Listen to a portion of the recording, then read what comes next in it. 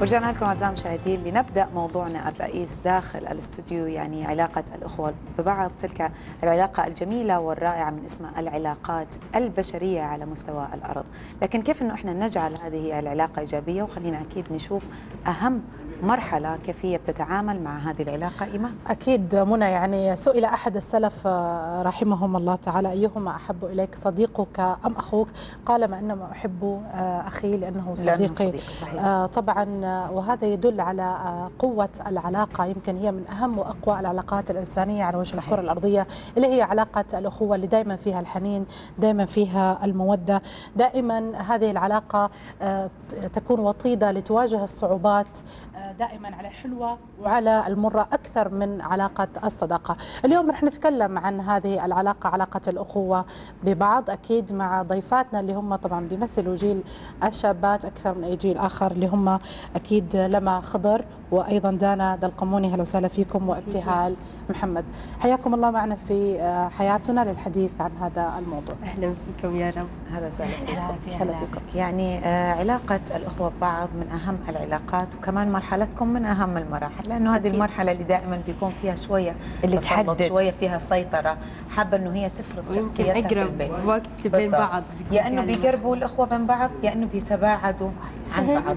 آه، دانا في البداية خلينا نبدأ فيكي كيف علاقتك مع إخوانك سواء من البنات أو من الذكور آه، إن كانوا إن كانوا أكبر. بالضبط. في البداية أنا في البنات في فوقي ثلاث بنات وفي تحتي ولد.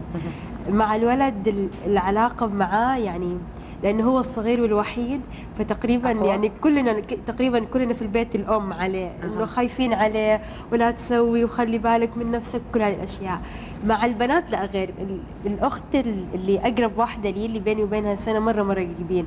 أكثر اثنين بيننا مشاكل بس بنفس الوقت حتى وهي المشكلة بيننا تلاقينا نضحك لأنه خلاص فاهمين على بعض. يعني خلينا نقول سوء آه،. اختلاف في وجهات أيوه النظر اختلاف وجهات نظر بس يعني في نفس الوقت إحنا نضحك على على بعض يعني جميل. فاهمين على بعض إنه حتى في مشاكلنا متفقين. حلو. آه بالنسبة للي أكبر أكبر واحدة يعني لا نحس إنه خلاص في هيبة في يعني نستشيرها مع إنه في كمان صداقة يعني بحكم. فارق السن أيوة مثلاً؟ يعني تقريبا سبع سنوات بيني وبينها.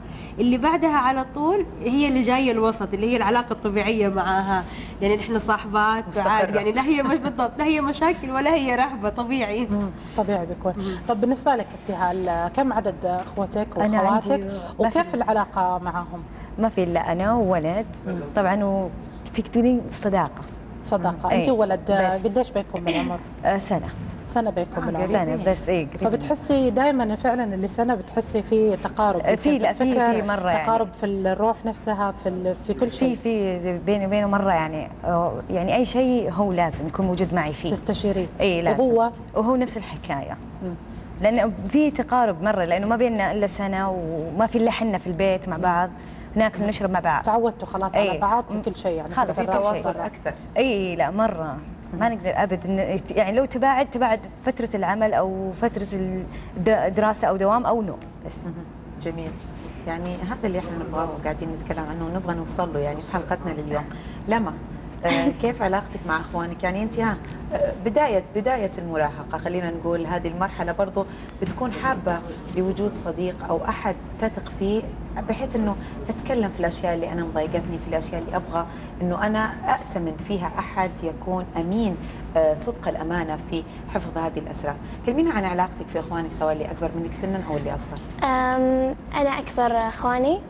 عندي أخت صغيرة عمرها يمكن أربع سنوات. فلا صح تصير بعض المشاكل بس بالأخير عادي. نلعب مع بعض تتكلموا عادي كان ما في شيء. صار. وعندنا تو... توأم ولد وبنت توأم صار.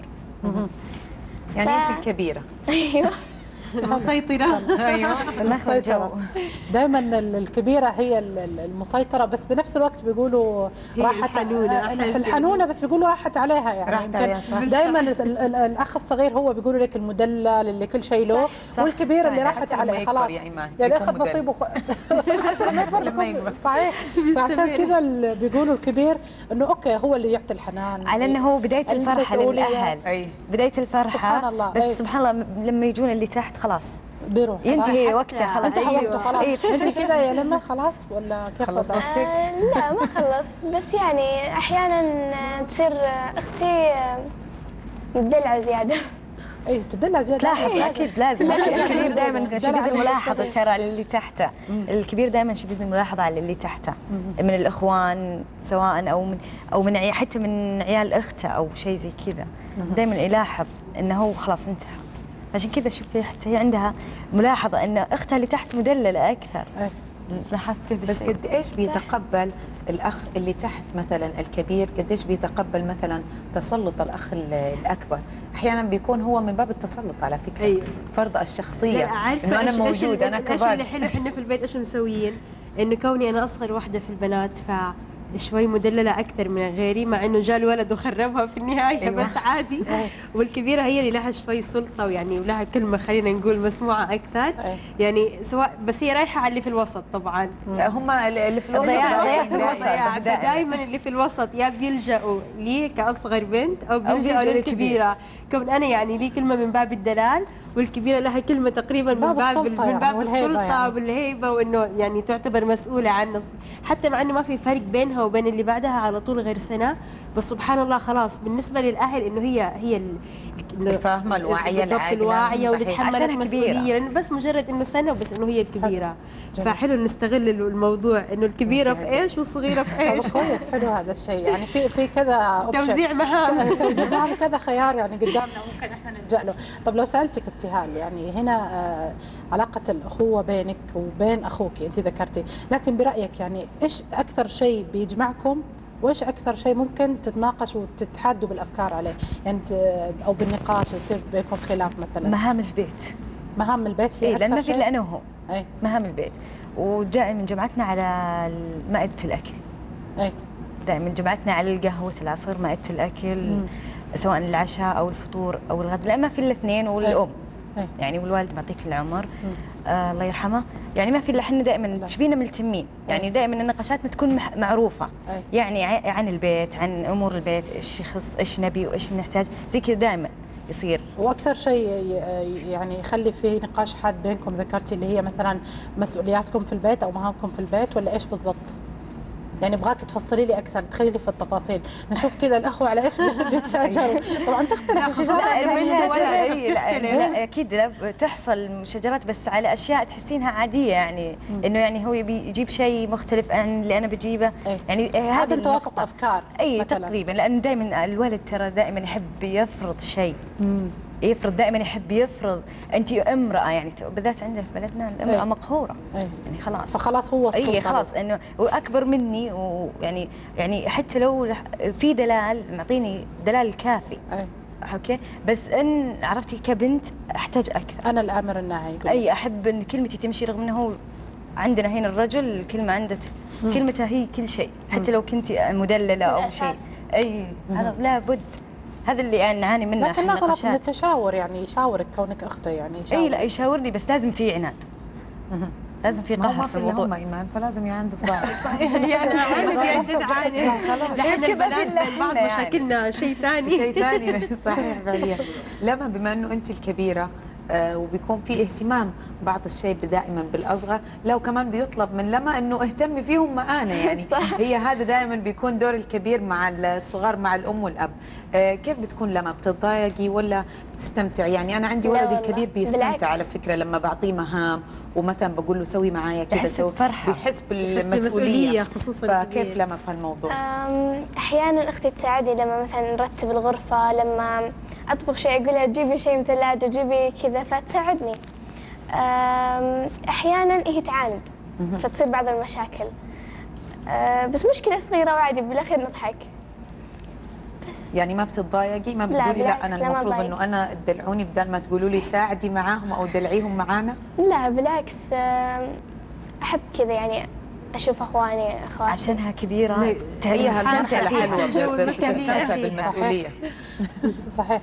طب لو سألتكم دانا يعني الحين مع ال- مع دخول التكنولوجيا يعني وصار في كثير انصباب نحو التكنولوجيا وكثير من الشباب وجيل الشابات لجأوا ليها يعني. ما بنلاقي أحد إلا ماسك الجوال بيده. يعني صراحة في أي زمان وفي أي مكان. حتى التواصل في صار الاجتماعات فهذا آه، برأيك على العلاقة الأخوية أثر سلبا أم ايجابا؟ لا بصراحة أشوف إيجابا إنه مثلا خلينا نقول لو حصل مشكلة مثلا مع الوالدة مع الوالد في لمح البصر تنحل أو نتفق على على نفس الشيء مثلا وأنتوا جالسين من غير. جالسين من غير ما يعني مثلا. لا بالضبط. يعني ممكن بنفس اللحظة على مثلا يصير في شيء بوقته أوكي ممكن أنا أكون سبب فيه أو مثلا أختي سبب فيه بس لازم نتفق الاثنين علشان يعني خلاص ممكن إحنا بالنهاية كلنا نشترك في المشكلة فتلاقي إنه أنت قولي كذا لا تقولي إنه صار كذا قولي إنه يعني ساعدت في في حل وفي تفادي المشاكل ممتاز جميل. يعني لها إيجابية إذا لا لا لها إيجابية وفي نفس الوقت حلو إنه سهلت التواصل بيننا يعني نتفق متى أنت راجع البيت أنت متى راجع البيت سهلت. وسرعت بنفس إنه الوقت، صحيح. التواصل يعني أكيد هي مثلا أحد في جامعة أحد في مدرسة أحد في دوام سهلت إنه ما في داعي نتكلم حتى حتى الأهل نفسهم إنه حسوا إنه ال- الإخوان أو الأخوات أقرب يعني مثلا الوالدة ما تكون عارفة إنه كلنا اليوم حنجتمع على الغداء بس إحنا نكون متفقين إنه مثلا خلاص الساعة أربعة اليوم إنه نحاول حتى اللي عندها دوام اللي عندها شيء إنه تطلع بكير علشان نتجمع أو ف- حتى يمكن خلينا نقول دانا في مناسبة معينة يصير في اتفاق بالضبط. صح أو- أو بالجوال نذكر بوسائل أحياناً. كمان. إيه، بتذكروا بعض توافقوا فبالعكس هي آه، ساعدت. ساعدت اذا من من ناحيتك ومن وجهة نظرك إنه هي إيجابية خلينا ناخذ هذا الاتصال الهاتفي ونتكلم شوية على علاقة الأخوة مع الأستاذ عايض الشهراني وهو مستشار اجتماعي وتربوي خبير دولي بفن الإتيكيت وتعديل السلوك أهلا وسهلا فيك أستاذ عايض معنا أهلا وسهلا. أهلا وسهلا فيك أستاذة إيمان. مساء الخير. مساء النور. حياك الله معنا يعني إحنا قاعدين نتكلم عن علاقة آه، من أسمى العلاقات الإنسانية اللي بنلاقيها علاقة الأخوة. وهل في أجمل من علاقة الأخوة اللي هي تعني علاقة الحب وعلاقة الصداقة وكل شيء في هذه الحياة؟ طيب برأيك لو سألتك عن آه، عن ال- الحاجات اللي بتحصل مثلا اللي بنلاقيها في هذه العلاقة ممكن ضغينة أو كراهية بتحصل بين الأخوة وبتستمر أحيانا يعني بنقول كنا بنتناقش أنا ومنى قبل الهواء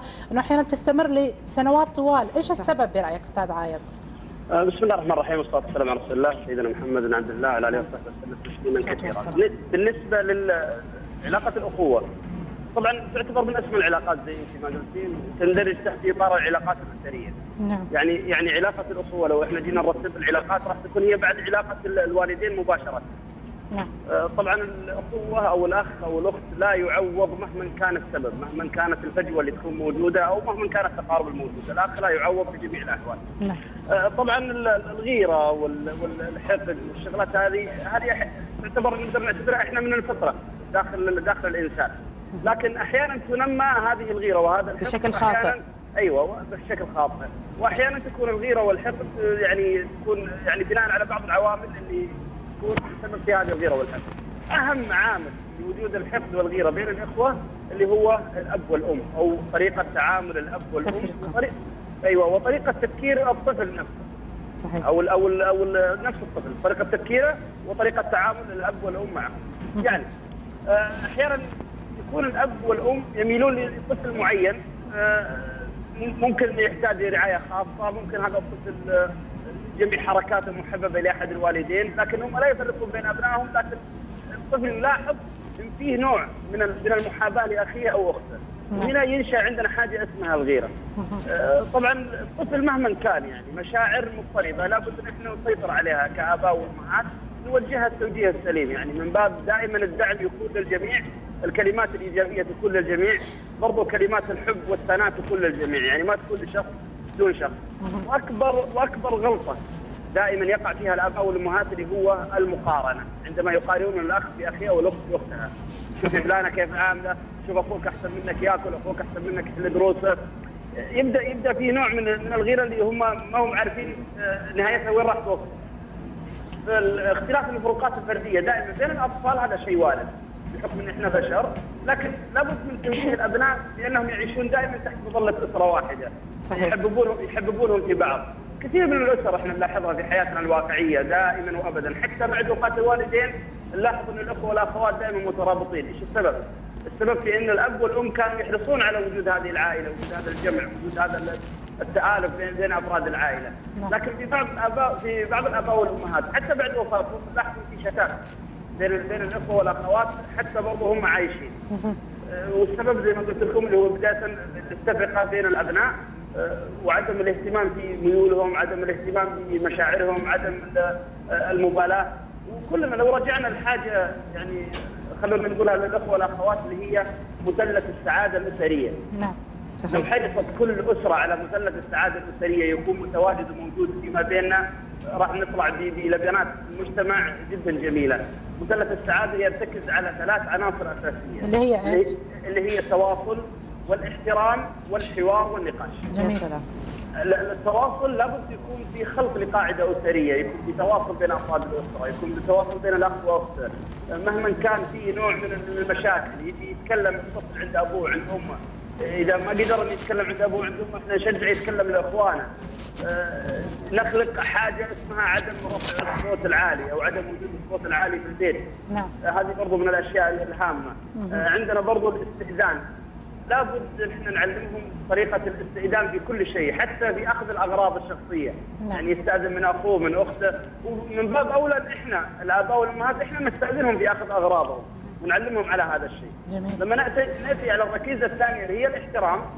اذا لابد إن إحنا نحترمهم ما نسمعهم عبارات غير لائقة دائما نعطيهم العبارات المؤدبة آه، يعني دائما نطلب منهم المساعدة نطلب صحيح. منهم مساعدة الغير عدم توجيه النقد المباشر أو اللاذع لهم بتاتا اللي هو اللوم. آه، عندنا اللي هو التشجيع والمساندة دائما في مختلف المواقف. جميل. وبرضه احترام الخصوصية. يعني مو معناه إنه هذا ابني وهذه بنتي إني أنا ما أحترم خصوصيتهم بالعكس. المفروض أنا أعطيهم الثقة الزايدة. صحيح. الركي- الركيزة الأخيرة عشان ما أطول عليكم اللي هو الحوار. مم. دائما استخدام مهارات التواصل أثناء الحوار وحتى حتى أبنائنا على الحوار والجلوس معهم والنقاش. نعم. هذا يعطينا نوع من تبادل الثقة. يعطينا نوع يعطينا نوع من مشاركة الأفكار. نعم. آه، نبتعد عن السخرية نبتعد عن النقد نبتعد دائما عن بعض يعني نترك مجال للحلول الإيجابية. نعم. آه، عندنا برضو أخذ الآراء. ما يمنع اني أنا وأب وأم إن إحنا ناخذ آراء أبنائنا في كل شيء. صحيح. نا- ناخذ ارائهم حتى برضو في المستقبل. إيش ناويين إيش يعني أعطوني آمالكم طموحاتكم.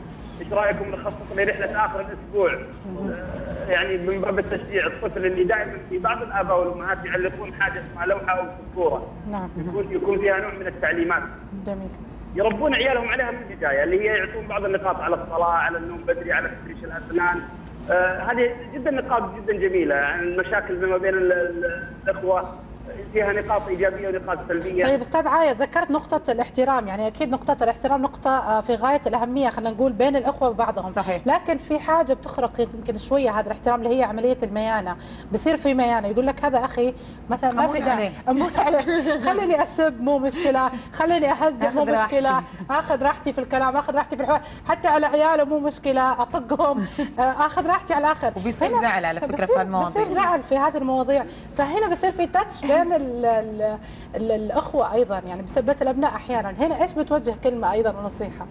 آه بالنسبة بالنسبة للإحترام زي ما قلت لكم مثلث السعادة أحد ركائز الإحترام. والإحترام يزرع زراعة. نعم. حجر. الأساس يا أستاذ عايض يعتبر. نعم. صحيح. آه، آه، الإحترام يزرع زراعة وتجنى ثمارة، نزرعه كيف؟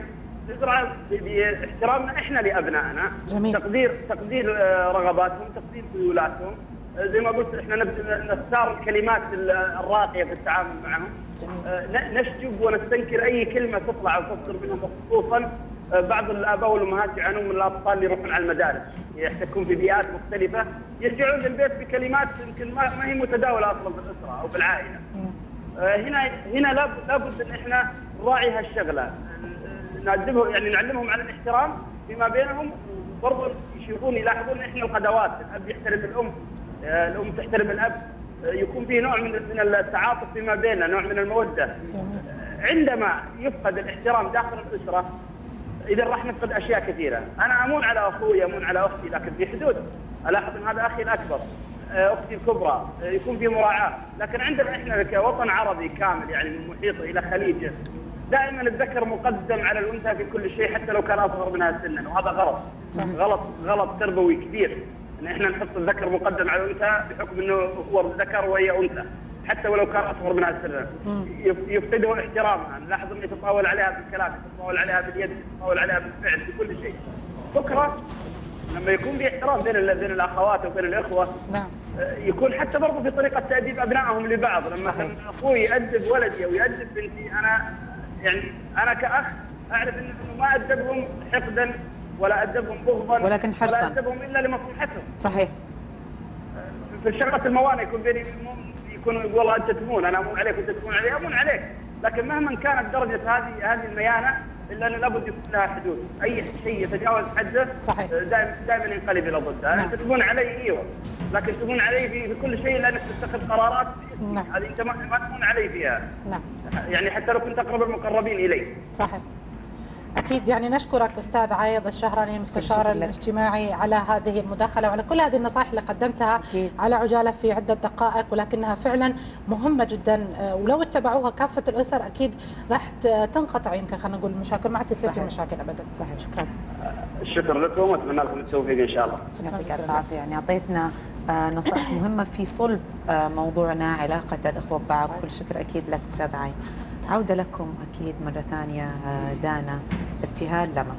يعني آه، خلينا نتكلم عن أهم الأشياء الجميلة اللي بتزيد التواصل اللي هي الإلتمام على طاولة الطعام سواء في وجبة الفطور والغداء أو العشاء. ودائما الوجبة الأساسية اللي هي الغداء اللي بتلتم آه، العائلة كلها مع بعض.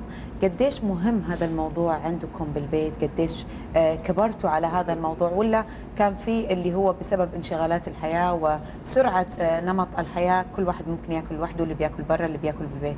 دانا. يعني عارفة لفترة من الفترات كان شيء أساسي إنه نتجمع وقت الغداء ضروري يعني خلاص إنه بس كنا في هذه الفترة تقريبا غالبيتنا مدارس في البيت فكان وقت دواماتنا كلها يعني معروف. ثلاثة ثلاثة ونص خلاص يكون الكل موجود في البيت حتى الوالد يعني يرجع اللي هو البريك الغداء يتواجد علشان بس هذه اللمة حلو مع مع هذا الوضع الحالي بعد ما أختي الكبيرة تزوجت خلاص صار عندها بيتها وعائلتها صرنا ممكن. نشوفها يوم في الأسبوع اللي هو أو بشكل سبت اللي هو. يوم يعني يعني هي تكون متواجدة فيه أو متفرغة أساسا سواء لأولادها أو لعائلتها أو حتى لنا يعني كأهلها.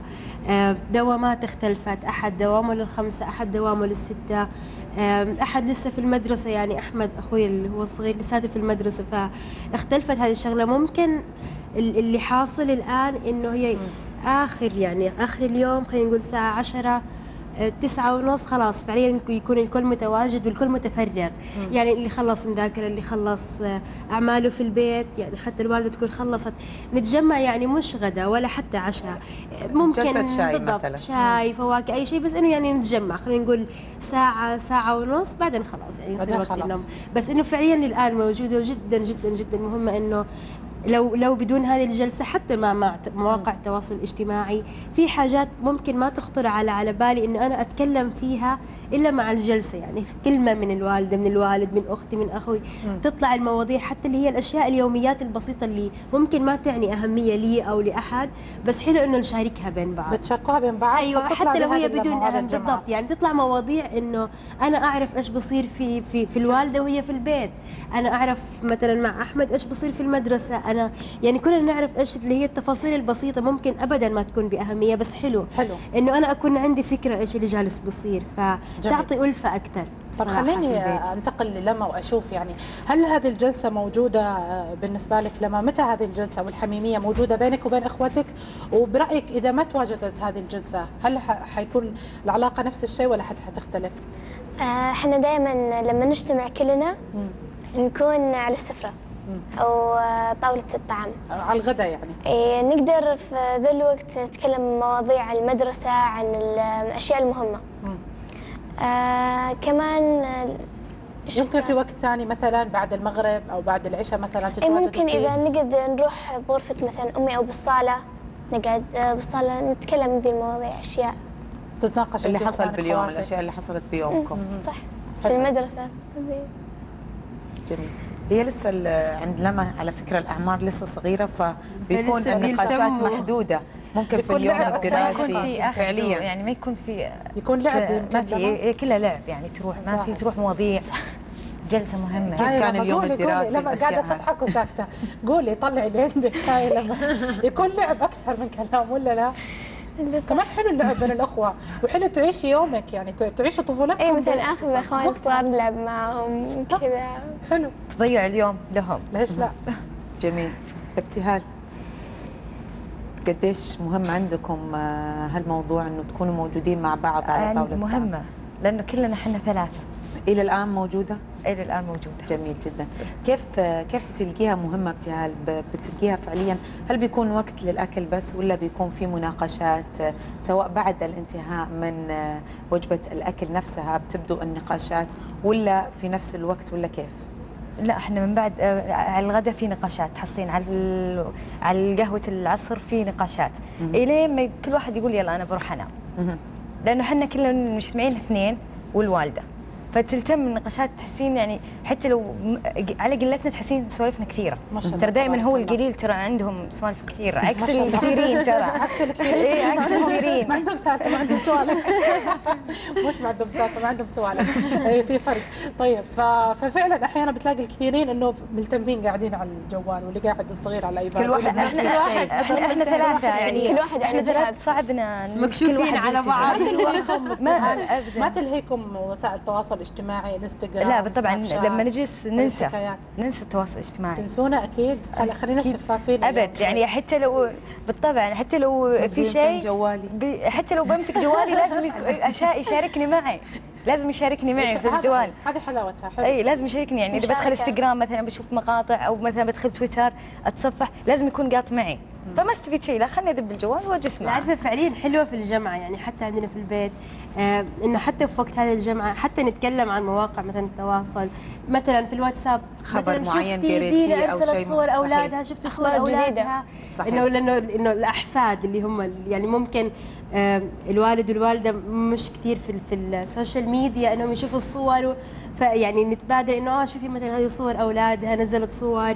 آه مثلا أحيانا حتى أخبار ال- العائلة القريبة مثلا العمات الخالات إنه نتبادلها من خلال مثلا مواقع التواصل الاجتماعي. حلو. إنه نتكلم إيش المضمون حق مواقع التواصل الاجتماعي اليوم يعني نسوي scan سريع عليها على أخبار العائلة. فلا يعني حلو بالعكس إنه إنه نستغلها حتى إنه كحوار بين بعض. كحوار مو بس إنه والله كل واحد ماسك جهازه بس. انت بالنسبة لكم لما هل آه، يعني تقعدوا مع بعض مث- مثلا تشوفون شيء على اليوتيوب مثلا آه، تقعدون على الفيسبوك مثلا ولا لا؟ إذا كان في شيء مهم آه، نتكلم فيه كلنا. مثلا لو في أخبار مثلا لمار إيش صار عندها في أختي؟ إيش صار عندها في المدرسة؟ آه، أنا إيش صار عندي في المدرسة؟ أمي إيش صار عندها في الشغل أبوي. بس قصدي التكنولوجيا يعني الجوالات الايبادات هذه الأمور كلها. مم، إحنا ما نمسكها دائما مو دائما قليلا. لها أوقات محددة. أي صح. أو انها تكون سرية كل بينها وبين شخص يعني بينه وبين نفسه. شكل ما يروح تمسك جوالها وتسولف أهلها. إيش صار داخل الجوال؟ مستحيل. شكلها كذا طيب خلينا نتكلم عن نقطة مهمة يعني آه، بنات آه، في هذه آه، العلاقة اللي هي علاقة الأخوة. آه، الشفافية والفضفضة إحدى الأمور المهمة اللي بنحتاجها صراحة جداً. لممارسة الحياة وإنه إحنا نكمل إذا ما فضفضنا نحس إنه إحنا راح صحيح ننفجر. انه حين ننفجر أكيد، خلاص. فممكن إنه يكون أخ آه، قريب مني جدا أخت قريبة مني جدا قد تكون صديقة يعني منذ الطفولة وبتكون حالها كأن حال. الأخت يعني حسبة الأخت بالضبط آه، كيف بتمارسوا هذا الموضوع في حياتكم ومع علاقتكم باخوتكم آه، بالنسبة لي المشاكل الكبيرة اللي أحيانا يعني أحس إنه أنا محتاجة استشارة. ورطة. أيوة إنه أحس في ورطة خلاص أبغى أبغى حل. عن نفسي مش قادرة أحلها. أها. أروح على طول لأختي الكبيرة. أوكي؟ حتى عشان لما تعرف الوالدة أو يعني تيجي منها ما تيجي مني إنه يعني خلاص تعرف هي إنه- توصل لها الموضوع. أيوة إنه هي توصل لها بطريقتها وإنه أنا استشرتها إنه أنا ما ما تصرفت من راسي. ال- المواضيع اللي, يعني فيها كذا لف ودوران وفيها إنه شوية يعني لازم نخبي فيها. لا أروح للي أكبر مني على طول. أوكي؟ أختي اللي في ال- اللي هي في الوسط بالنسبة للي أكبر مني اللي هي طبيعي علاقتي معاها. ما ما أفضفض لها كثير بس هي من؟ نفسها. دانا إيش في وراي؟ يعني هي أصلا تكون حاسة إنه في. وراي مصيبة. أيوه. اعترفي إيش اللي صاير معك بتلاقيني لا اراديا قلت كل شيء عندي. بطلعي كل شيء. كل طب أمك شيء. بتتابعنا الحين؟ آه، والمفروض. المفروض. جاك الوعد يا دانا المفروض. جاك الوعد دانا اليوم. بالنسبة لك ابتهال لا في مواضيع آه، أحب أكون معطيتها لأخوي يعني بما إنه يعني أكبر وي ويوجهني على شيء مصلحتي بس في مواضيع مثل ما قالت دانا لف ودوران لا ألجأها لأمي. إي ألجأها لأمي لأن الأم بالنسبة فضفضه للأم تكون أهون من الفضفضة لا أح- بعضها إي بعض. مواضيع ما يتقبلها أي. اذا يعني كان الأم تكون. الاخت بس هو عشان ما في أخت أنا قاعدة أقول لك الأم صح أيوة، ففعلا منى يمكن الذكر ما حيتقبل مثل لا. ما راح. يتقبل على طول فكره غير سبحان الله لا حتى لو ما راح يتقبلها بشكل على طول على طول بيفسرها على على فهمه هو لأنه تركيبه أيوة، على- على- على- أكيد. بالذات يعني الأمور اللي مثل ما قالت لف ودوران. يعني أي. اللف ودوران لازم تكون فيها الأم أي. لأن الأم راح تكون متفهمة و- وعارفة إيش البنت وإيش عند البنت بس الولد ما راح يكون طبعا عارف مثل الأم فعشان كذا أخليك على موضوع يعني رسمية أحسن. الشفافة الخفيفة وحتى في حاجات مثلا يعني خلينا نقول بتخص البنات بتخص الصبايا.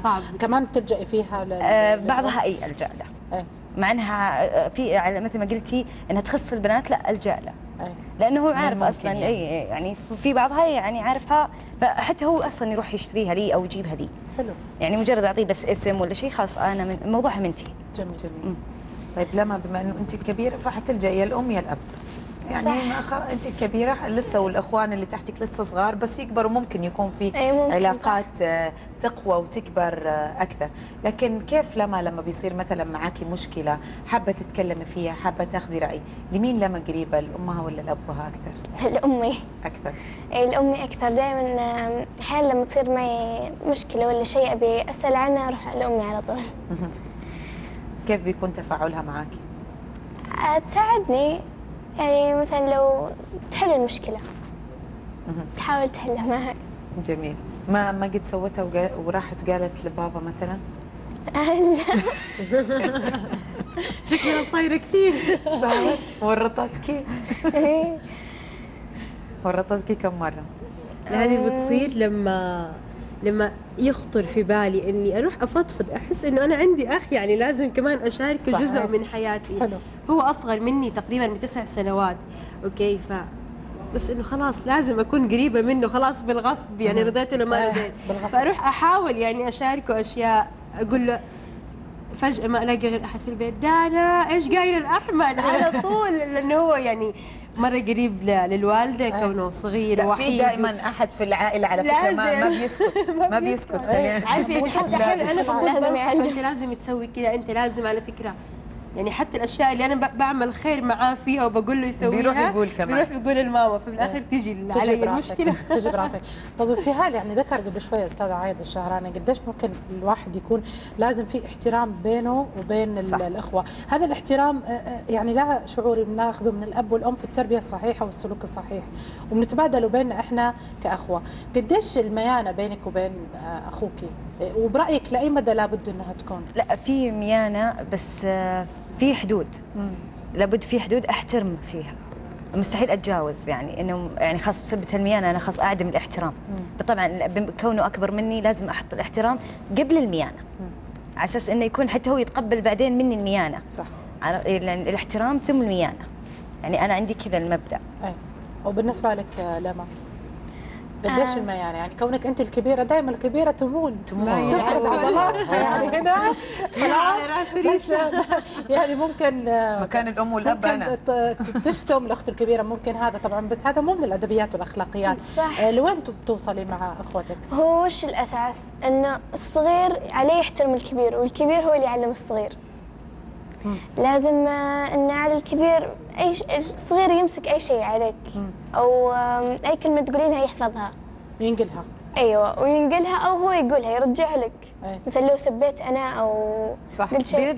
بترجع لي يكتسب قاعد هو يكتسب وياخذ اي أشياء يكتسب صحيح. يحفظ الأشياء فعشان كذا نحاول إن ما ن- ما نسكت تتفوهي بأي شيء. عموما أي. يعطيكم ألف عافية. دائما. إحنا لا- لابد إنه نسلك السلوك الصحيح وناخذه من الأم والأب اللي هم قدوتنا. يعطيكم العافية. ألف الله عافية. نورتونا الله يعافيك. شكرا. ابتهال. بعد أنت. آه، لما شكرا لكم. يعطيكم ألف عافية. شكرا. أعزائي المشاهدين بكذا نكون وصلنا إلى ختام مشوارنا اليوم. نتمنى لكم إجازة نهاية أسبوع سعيدة تقضوها مع جميع أفراد الأسرة.